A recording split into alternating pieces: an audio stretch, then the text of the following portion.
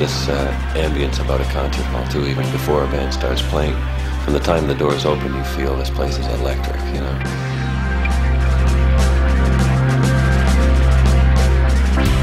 That's one of the things I like most about the road is that feeling of standing in the hall when the doors open and you feel the excitement bursting into the hall. I must admit I feel very comfortable though. I like playing live a lot.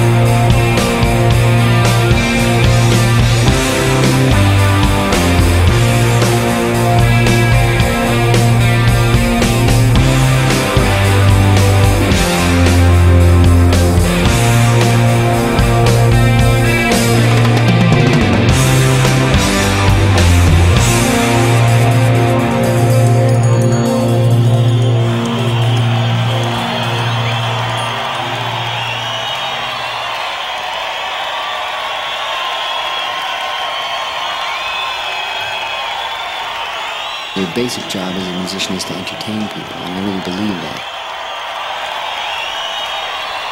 It's a great pleasure for us to be once again.